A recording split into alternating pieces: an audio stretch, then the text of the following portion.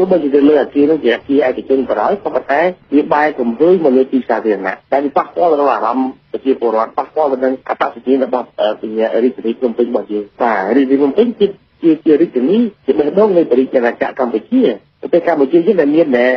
អរិយធម៌វប្បធម៌ខ្ពង់ខ្ពស់បាទយើងអត់ដែលមានអត្តលបដើរទៅគូរូបគូអីទៅលើអញ្ចឹងទៅទេបាទអញ្ចឹងយើងមានគូយើងមានទុកស្កាត់ឲ្យបានតស្អាតតែមិនត្រូវឬក៏យើងលៀបពណ៌អីដែលតែធម្មតាវាសគុតសគុំផង